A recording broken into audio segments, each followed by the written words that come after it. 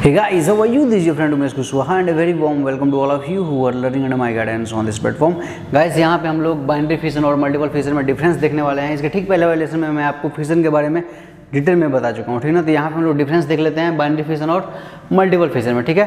तो चलिए पहला डिफरेंस देखिए। It forms two daughter individuals यानी जो बाइनरी फिशन होता है उसकी वजह से दो डॉटर इंडिविजुअल्स बनते हैं। जैसे कि मान लीजिए कि ये अमीबा है ठीक है?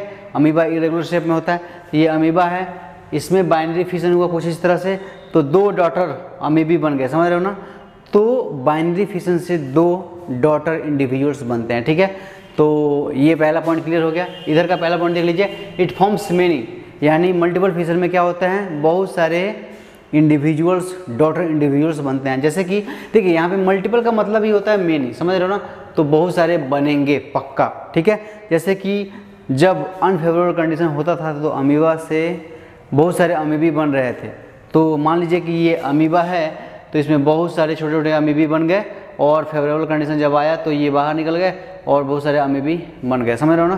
तो यानी कि अमीबा के अंदर बहुत सारे अमीबी बनते हैं और फेवरेबल कंडीशन आ जाता है तो ये बाहर निकल के छोटे छोटे अमीबी बाहर निकलते हैं और एडल्ट अमीबा में कन्वर्ट हो जाते हैं, ठीक है तो पहला पॉइंट क्लियर हो गया।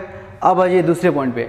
The nucleus of the parent body divides only once यानी बाइनरी फिशन में सिर्फ़ एक बार न्यूक्लियस का डिवीज़न होता है। जैसे कि अगर ये अमीवा है तो सिर्फ़ एक बार उसका न्यूक्लियस डिवाइड होगा।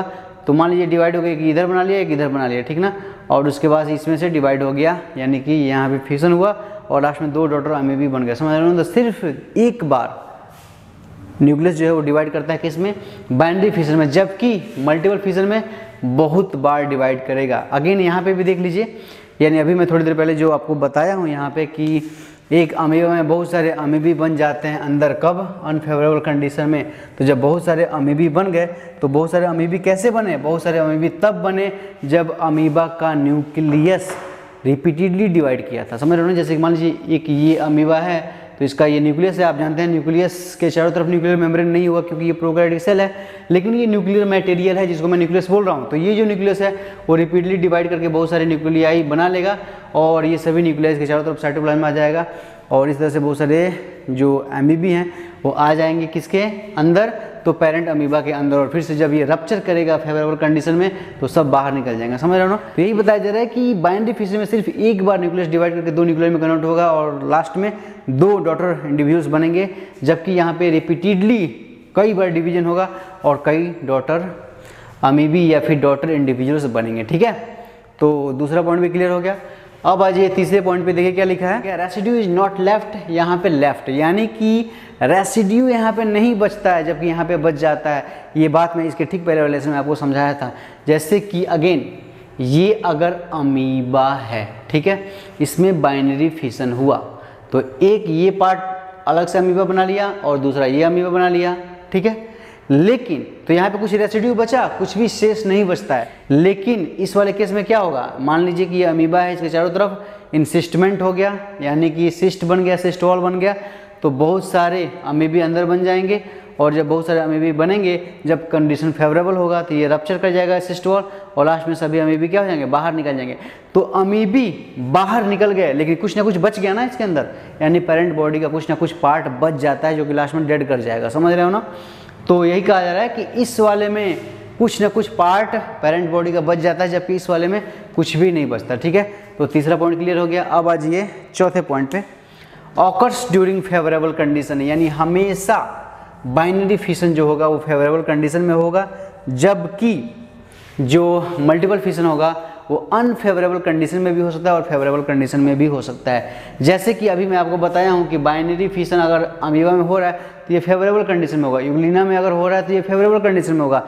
लेकिन प्लाज्मोडियम में यहाँ पे देखिए फेवरेबल कंडीशन में हो रहा है मल्टीपल फिशन जबकि अमीबा में अनफेवरेबल कंडीशन में हो रहा है।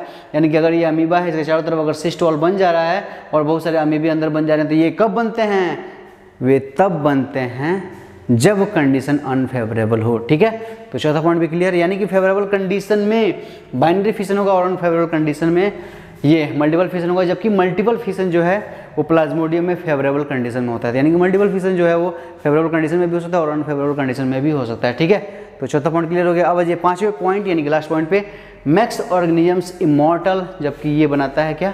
मॉर्टल इमोर्टल और मॉडल का मतलब क्या समझे आप? इमोर्टल मतलब जो कभी भी ना मरे, यानी अमर जो है, उसको क्या बोलते हैं? Immortal man is mortal man is not immortal यानी मैन जो है, आदमी जो है, वो मर जाता है, इसलिए मैन इज़ मॉर्टल जबकि अमीबा, अगर वो बाइनरी फिशन कर रहा है तो क्या हो जा रहा है, वो इमोर्टल हो जा रहा है. यानी कोई भी ऑर्गेनिज्म अगर बाइनरी फिशन कर रहा है तो इमोटल होगा, और कोई भी ऑर्गेनिज्म अगर मल्टीपल फिशन कर रहा है तो क्या हो जाएगा? मॉर्टल हो जाएगा. कैसे हो जाता है? मैं आपको समझाता हूँ. ये रहा अमीबा, ठीक है? इसमें हुआ बाइनरी फिशन ठीक है? बाइनरी फिशन हुआ तो जो इसका हाफ़ पार्ट है, वो एक नया अमीबा बना लिया और जो इसका हाफ़ पार्ट है, वो नया अमीबा बना लिया, ठीक है? तो पॉइंट ये है कि ये मरा कहाँ? जो इसका हाफ़ पार्ट है, वो तो नया अमीबा बन गया और जो इसका हाफ़ पार्ट है, वो नया बन गया। तो कुछ बचा ही नहीं था, यहाँ पे रेसिड्यू भी कुछ नहीं हो रहा है, यानी कुछ भी नहीं बच है। तो जो पार्ट इसमें था, उसका हाफ़ पार्ट एक नया अमीबा बना लिया और जो इधर था, वो नया अमीबा बना लिया, ठीक है? तो कुछ शेष बचता ही नहीं है, यानी कि ये जो ऑर्गेनिज्म है, यानी कि जो बाइंडिफिकेशन करेगा, वो कभी भी नहीं मरेगा। That is why amoeba is immortal और भी बहुत सारे यूनिसेलर ऑर्गेनिज्म जो कि बाइंडिफिकेशन करते हैं, वो क्या होते हैं? इमोर्टल हो जाते हैं, ठीक है? अब इसको समझिए। मैक्स मॉर्टल यानी कि जो मल्टीपल फिशन होता है, उसके वजह से जो पेरेंट बॉडी होती है, वो मॉर्टल होती है, यानी वो मर जाती है। कहने का मतलब ये है, जैसे कि मान लीजिए, ये आपका अमीबा है। अमीबा के चारों तरफ़ दीवार बन गया, सिस्ट वॉल बन गया, जिसको जिस प्रोसेस को हम लोग बोल रहे हैं इंसिस्टमेंट तो इंसिस्टमेंट के फलस्वरूप, चूँकि यहाँ पे बहुत अच्छा दीवार बना जो इसको प्रोटेक्ट कर रहा है तो इसके प्रोटेक्शन के फलस्वरूप ही ये अनफेवरेबल कंडीशन में बहुत सारे छोटे छोटे अमीबी बना लेता है अंदर। और जब कंडीशन फेवरेबल हुआ तो ये रप्चर कर जाएगा दीवार टूटेगा तो फिर से बहुत सारे अमीबी बाहर निकल जाएँगे। समझ रहे हो ना? तो अब देख रहे हैं कि यहाँ पे बहुत सारे अमीबी बन जा रहे हैं फेवरेबल कंडीशन में। अनफेवरेबल कंडीशन में सिस्ट वॉल बना और फेवरेबल कंडीशन में बहुत सारे अमीबी बाहर निकल गए। तो यहाँ पे बहुत सारे अमीबी बने, लेकिन पेरेंट बॉडी का क्या हुआ? तो पेरेंट बॉडी का कुछ ना कुछ तो पार्ट बच गया था, क्योंकि हम तीसरे पॉइंट में यही समझ रहे थे कि कुछ ना कुछ पार्ट जो है वो बच जाता है पेरेंट बॉडी का। तो जो बच गया उसका क्या होगा? वो मर जाएगा। समझ रहे हो ना? इससे ये साफ़ साफ़ स्पष्ट होता है कि जो मल्टीपल फिशन होता है, उसमें मॉर्टल वाला कंडीशन होता है, यानी कि इसमें पेरेंट बॉडी जो होती है वो मर जाती है। जबकि जो बाइनरी फिशन होता है, उसमें पेरेंट बॉडी जो होती है, वो इमोटल हो जाती है, क्योंकि उसका पूरा का पूरा यूटिलाइज कर दिया जाता है, जबकि यहाँ पे यूटिलाइज करने के बावजूद कुछ बच जाता है, जो कि मर जाता है, ठीक है? तो यही कुछ पॉइंट्स है आई होप कि आप सब कुछ समझ गए होंगे। Thank you so much for watching the lesson